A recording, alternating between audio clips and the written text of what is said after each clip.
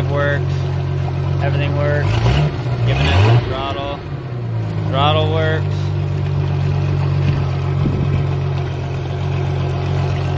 I'm gonna walk around here, take a look at some of the minor little dents on this toon, nothing functionally bad, just a little bit of a bruise.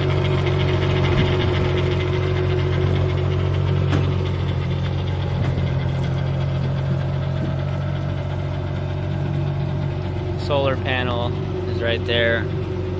Uh, just easy storage right there. Electric uh, bimini.